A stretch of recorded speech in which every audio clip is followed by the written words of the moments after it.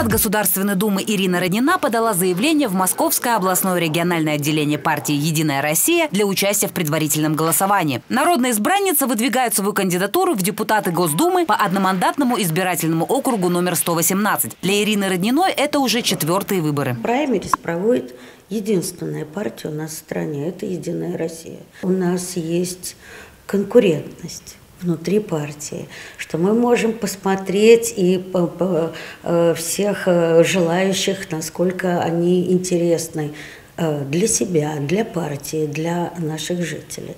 Во-вторых, вот в таком прямом, открытом а, обмене мы получаем очень много информации, э, что же нужно нашим э, гражданам, что их в этот момент больше всего интересует. На протяжении всей деятельности депутата Ирина Родина продвигала различные инициативы, многие из которых стали частью федеральных программ. Предварительное внутрипартийное голосование – возможность заранее определить кандидатов с наибольшим авторитетом среди жителей. Выбор можно будет сделать с 24 по 30 мая.